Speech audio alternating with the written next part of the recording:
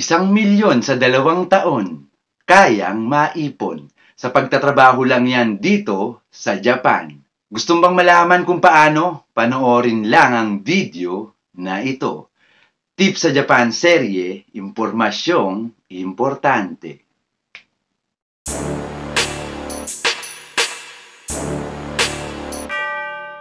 What's up mga Ludes? You are watching Tip sa Japan serye, impormasyong importante. Sa second episode ng serye na ito, malalaman nyo dito kung paano makaipon ng isang milyon sa pagtatrabaho lang dito sa Japan sa loob ng dalawang taon. Usapang pag-iipon ng kaperahan ng video na ito mga Ludes. So for today's episode, kaya bang makaipon ng isang milyon sa loob lang ng dalawang taon na pagtatrabaho dito sa Japan? At ang sinasabi kong isang milyon dito ay hindi lang 1 million yen kundi 1 million pesos. Dahil ang katumbas lang ng 1 million yen ay rough estimate ay nasa 430,000 pesos. Ang exchange rate as of this moment ay 1 peso is equivalent to 0.43 yen. So mas mababa sa kalahati ang palitan ng peso to yen. Para may idea kayo kung magkano ang minimum na sweldo dito sa Japan, ay suggest panoorin nyo yung vlog ko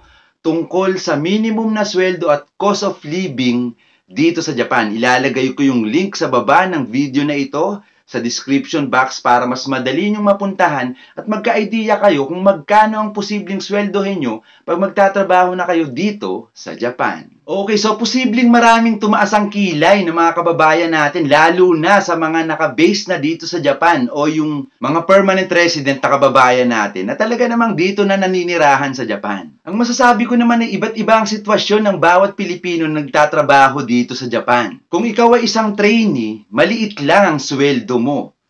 Pero maliit din ang expenses ng mga trainees dito sa Japan. Ngayon, kung ikaw naman ay permanent resident dito sa Japan, malaki ang sweldo at the same time, mas malaki ang expenses nila dito sa Japan.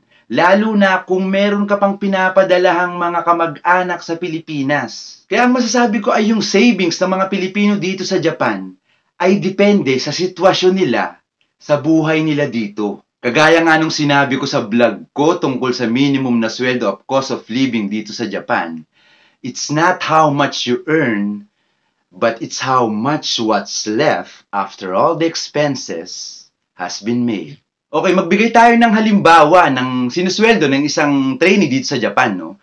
Kung ikaw ay isang trainee dito sa Japan at kumikita ka ng 14 lapad o 140,000 yen, that's around 60,000 converted sa peso. So pag sinabi nating 14 lapad, net of all deductions na yon, yun na yung buong sweldo mo na matatanggap sa isang buwan. Kaltas na yung bayad sa apartment, sa mga taxes, and so on and so forth.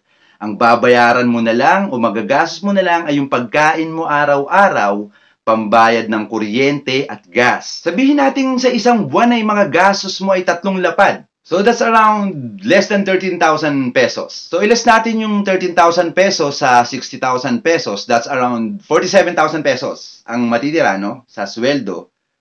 Kaltas na ang lahat ng gastos mo sa isang buwan. So dito sa Japan, kapag nagtatrabaho ka sa factory worker, madalas eh may mga overtime yan. Base sa experience ng ating mga kababayan dito na nagtatrabaho sa factory, Pagka peak season na inaabot minsan ng 4 to 5 months ang peak season sa isang taon, umaabot ng 20 lapad or 200,000 pesos ang sinusweldo sa isang buwan. So that's around 83,000 pesos converted sa Philippine money. Sabihin nating single ka at wala kang masyadong sinusuportahan na pamilya sa Pilipinas. Well, nagpapadala ka lang ng isang lapad o 4,300 pesos. So, gaya nga ng sinabi ko kanina, depende yun sa buhay ng pamilya mo sa Pilipinas kung wala namang masyadong umaasa sa'yo at sarili mo lang din talaga ang iniisip mo, magpapadala at magpapadala ka pa rin naman dahil may pamilya ka sa Pilipinas. So, let's say for example na isang lapad lang ang pinapadala mo kada buwan sa Pilipinas. So, that's around 4,300 pesos. So, may matitira ka pang 10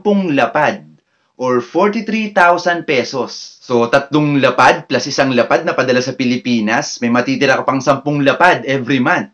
That's 43,000 pesos. So yun na yung savings mo kada buwan. 43,000 pesos divided by 12 months, ang sagot ay 516,000 pesos. Yes mga Ludes, kalahating milyon sa isang taon ang may ipon mo kung meron kang sampung lapad na savings kada buwan. So sa dalawang taon, that's 1 million 32,000 pesos.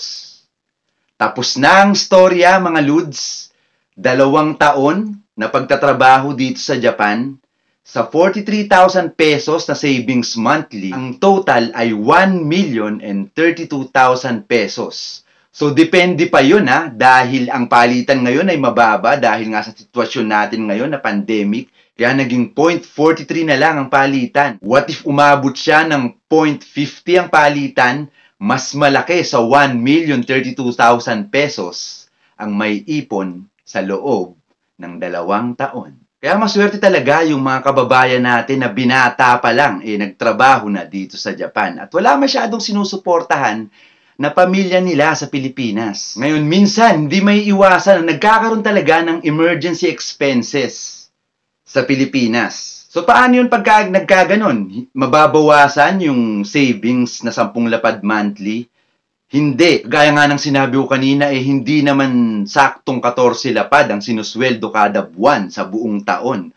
So may mga time na mas mataas lalo na kapag peak season. So kapag peak season, umaabot ng more or less 20 lapad ang sinusweldo ng mga kababayan nating factory worker dito sa Japan. So kung magiging wise ka lang sa pag-iipon, eh pwede mong ilagay yung mga sobrang kinikita mo sa emergency fund. Okay, let's do the math. Sabihin natin sa loob ng isang taon eh, meron kayong peak season na 5 months. So, ipagpalagay natin na limang lapad kada buwan ang extrang kinikita mo sa overtime. So, that's around 25 lapad or 250,000 yen. So, converted sa peso, nasa 100,000 pesos. That's quite a big money for an emergency fund. Kaya ang mapapayo ko sa mga kababayan natin na nagtatrabaho dito sa Japan bilang contractual worker at hindi naman talagang permanenteng nakatira dito sa Japan. Mag-ipon kayo na mag-ipon. Itong sinabi ko dito kahit yung mga contractual workers dito sa Japan, posibleng tumaas din yung mga kilay nyo eh, no? Pero ang masasabi ko naman, doable talaga siya. Kayang-kayang gawin yon. Depende sa sinusweldo mo at depende sa sitwasyon ng pamilya mo sa Pilipinas. Gagawan natin ng part 2 itong vlog na ito at mag-iimbita tayo ng isang kaibigan na magpapatunay na kayang makaipon ng isang milyon sa pagtatrabaho dito sa Japan sa loob lang ng dalawang taon. So hanggang dito na lang ang video na ito. Kung meron kayong mga bayulenteng reaksyon, komento, katanungan at kung ano-ano pa, open sa lahat ng mga bashers. Please type it in the comment section sa baba ng video na ito at siguradong sasagutin natin ang lahat ng mga katanungan na yan, reaksyon, at kung ano-ano pa as soon as possible. Kung nagustuhan nyo ang video na ito, please give it a thumbs up and you can also consider subscribing para maging updated ka at mapanood mo yung part 2 ng vlog na ito kung saan mag-iimbita tayo ng isang kababayan natin na talaga namang nakaipon siya ng isang milyon sa loob lang ng dalawang taon. Abangan nyo ang video na iyon dahil may mga bibigay siyang tips at yung mga ginagawa niya sa pang-araw-araw na pagtitipid dito sa Japan. Kaya talaga namang saludo ako sa kababayan natin na yon. So muli, ito ang Tips sa Japan serye, Impormasyong Importante by Ludionit in the Land of the Rising Sun, Japan. Don't skip ads. I love you.